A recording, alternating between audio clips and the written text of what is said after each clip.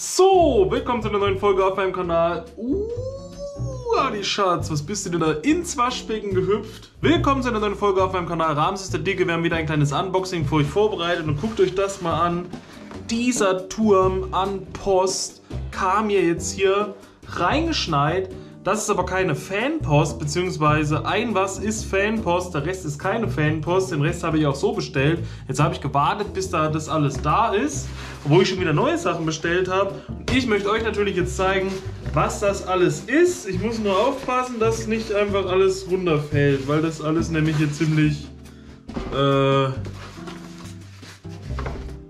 so, so passt das, so liegt das hier gut auf. Wir machen mal zuerst dieses Päckchen auf. Ich habe nämlich ein paar Sachen letztens in meiner Wunschliste gehabt. Und ich habe ja schon mal gesagt, die Wunschliste ist nicht einfach nur dazu da, dass ich Leute nötigen will, dass die mir aus der Wunschliste Sachen bestellen. Die Wunschliste ist für mich auch wie eine Merkliste, wenn ich gerade was sehe und am überlegen bin, hole ich mir das, hole ich mir das nicht, dass ich es erstmal reinpacke. Wenn es jemand anderes holt, okay. Wenn nicht, hole ich mir das auch selber nach einer Zeit, wenn ich da Bock drauf habe. Angefangen zum Beispiel mit diesem Film. Guck dir das an. Halloween Kills. Ich bin riesengroßer Michael Myers Fan. Ich war im Kino äh, bei Halloween, bei, dem, bei der Neuauflage, dem Vorgänger davon. Ich war im Kino bei Halloween Kills. Ich fand den irgendwie richtig genial. Ich fand ihn irgendwie lustig, ich fand ihn brutal, ich fand den einfach gruselig, alles gleichzeitig. Mir hat der Teil auf jeden Fall richtig gut gefallen, hat Spaß gemacht. Ich habe jetzt lange überlegt, holst du dir den, wartest du, vielleicht kommt nochmal ein Mediabook oder eine Box oder sonst was. Aber der Henry Nicki hat ja auch gesagt, es gibt den als Extended Cut, auch mit alternativem Ende. Hab mir also den Halloween Kills jetzt gegönnt zum Angucken und für die Sammlung. Habt ihr Halloween Kills geschaut?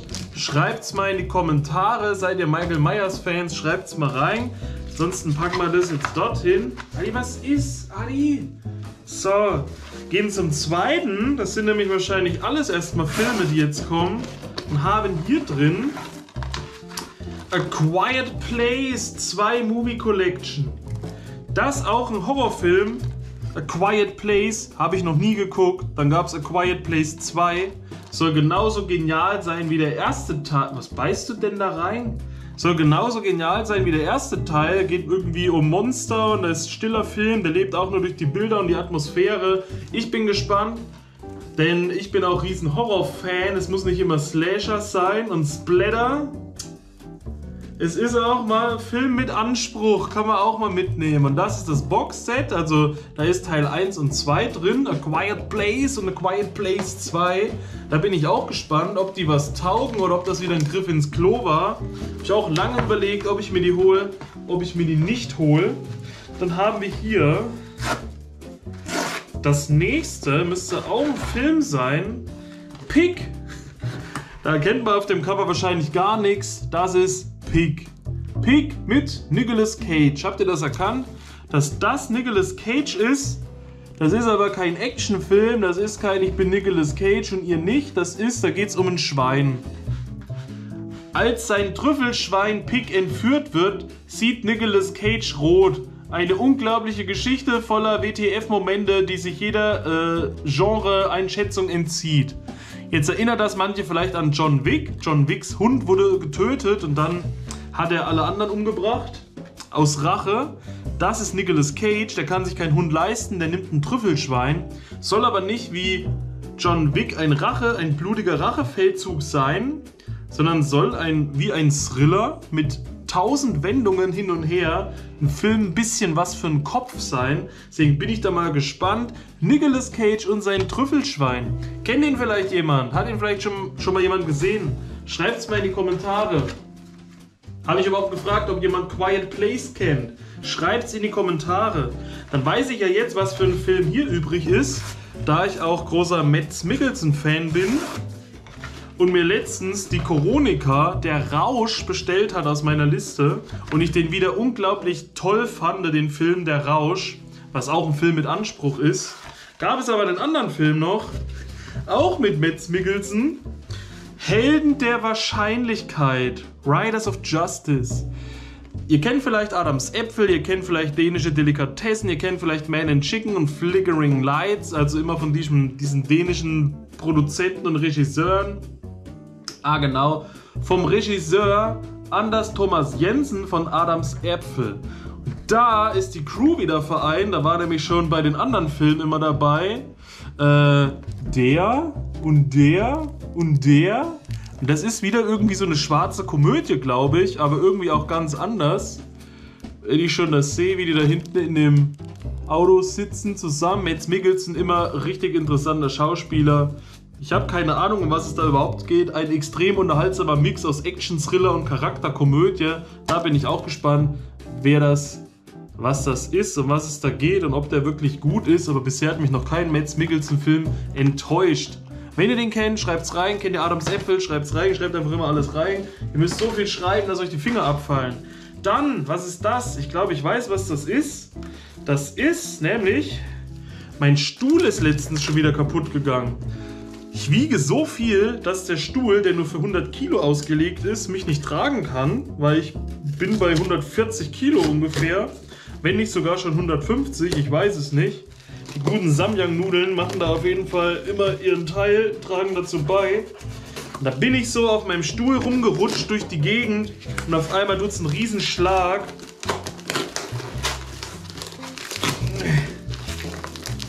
Auf einmal tut es einen Ach nö, das ist es gar nicht. Gut, dann tun wir das weg. Hä? Das ergibt gar keinen Sinn. Ach so, nee. Hä? Nochmal. Jetzt muss ich nochmal schauen.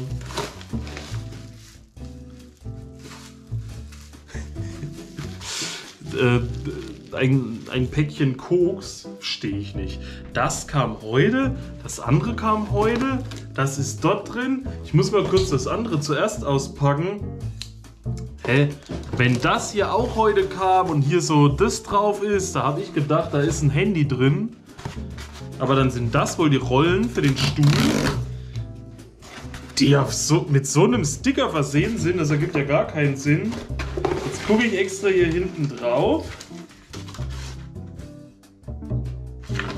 Das sind, ist auch nicht die Rollen. Jetzt muss ich das nochmal wegtun. Wir nehmen mal das.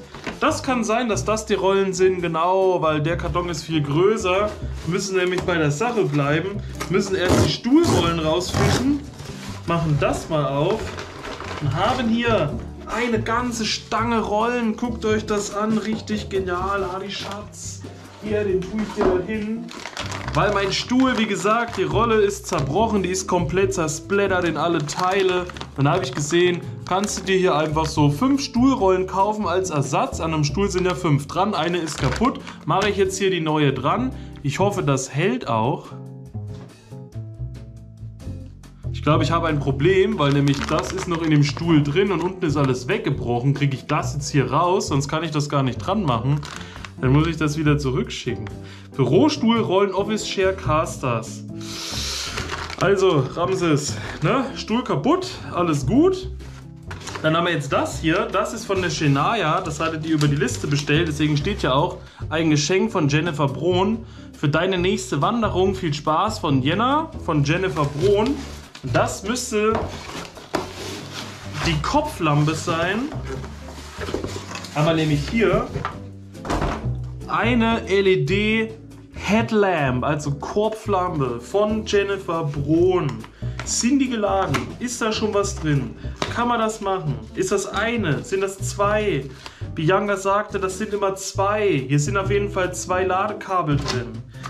Und wenn wir das rausnehmen, sind wohl wirklich zwei Lampen da drin. Ja, nämlich bei der Bismarck-Wanderung hat sie eine Kopflampe gehabt, womit man zwischendurch immer mal was gemacht hat. Das war irgendwie richtig cool. Wow! Und die kannst du dir jetzt hier auf den Kopf machen. Dann siehst du aus wie Baba Shango und dann drückst du hier. Und dann kannst du da so reinleuchten und dann sieht dich keiner. Adi Schatz, guck mal, alles Gute. Das ist einfach Licht, das ist noch mehr Licht. Das ist ja cool. Jetzt können wir, wenn es irgendwo dunkel ist, machen wir einfach so und dann können wir alles beleuchten mit unserer Kopflampe. Gell, Adi Schatz? Guck dir das an, wie die Haare und so. Adi, Adi, Adi. Also wenn ihr mal, wenn ihr äh, keine, keine Hand frei habt ne?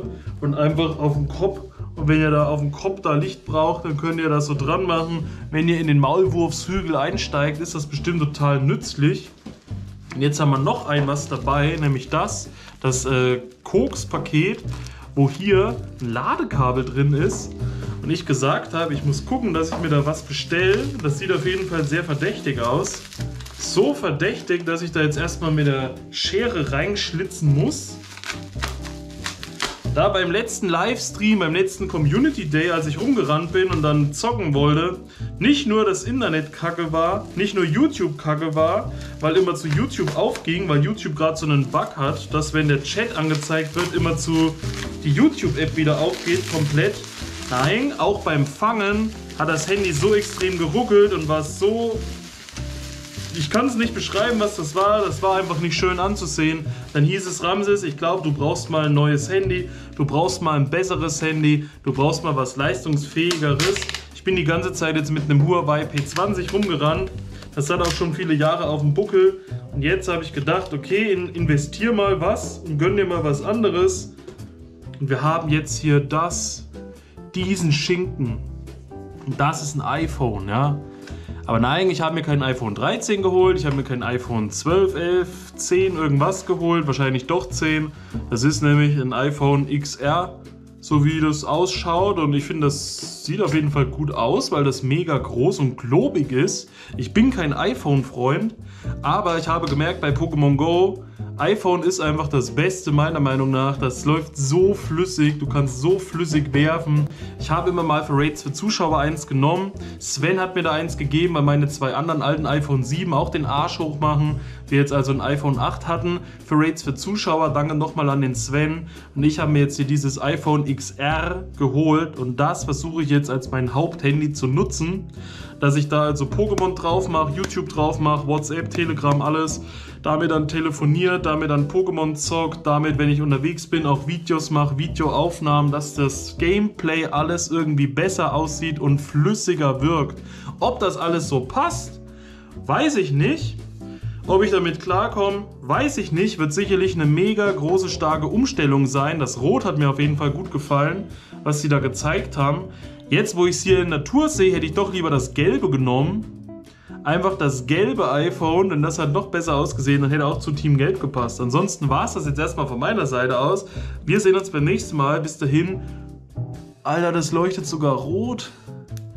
Bis dahin, P Art Disco. Bis dahin, Peace out, Vorhaut. Euer Ramses. Adi, Schatz. Ich suche nochmal einen Adi, wenn wir die Lampe anmachen im Kopf. So, Adi, guck.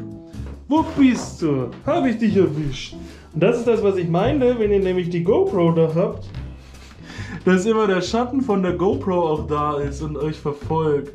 Was natürlich nicht wäre, wenn das da dahinter wäre. Ihr könnt die Lampe ja daneben halten und dann sagen, Adi, Adi Schatz, guck mal. Nein, guck nicht, das ist nicht gut für die Augen.